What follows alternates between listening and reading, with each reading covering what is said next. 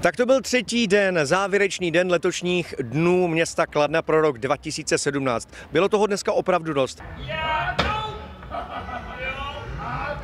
A teď po naší úspěšné show v rámci Dnů města Kladna vás, milí diváci, zvu také do divadla Lampion, kde pro vás chystáme tuhle sezónu hned pět premiér. Přijďte, čekáme na vás v divadle.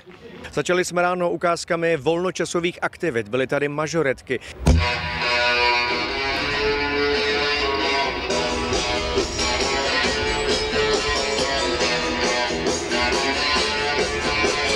Byly tady aerobičky, viděli jste karate, viděli jste thai boxery, kteří se do sebe doopravdy pustili. Já vám děkuji tady Kladnu, že si nás sem pozvali.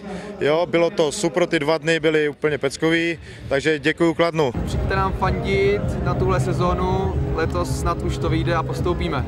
A nesmím zapomenout na ukázku integrovaného záchranného systému. integrovaný záchranný systém. A teď pojďme popisovat, co se přesně konkrétně děje. Jsou to pár vteřin, takže V rámci eh, vlastně prezence a ukázek a fungování integrovaného záchranného systému se mohou návštěvníci přesvědčit zde na místě, jak to vlastně funguje.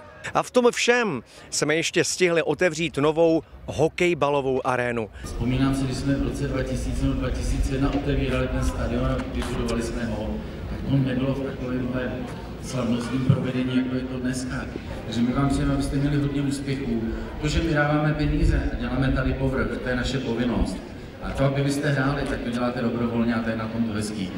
Ať se vám tady dobře hraje a hodně stadion užívejte a já děkuji za tu akci, kterou jste udělali, protože pro mě je to překvapení. Děkuji moc vám všem.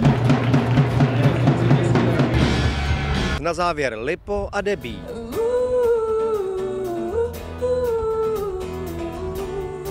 Si pořád jen to svoje brácho víš, klidně si počkám, než to celý pochopíš. Jedu si pořád jen to svoje brácho víš, ty pomlouváš a přitom o tom celém sníš.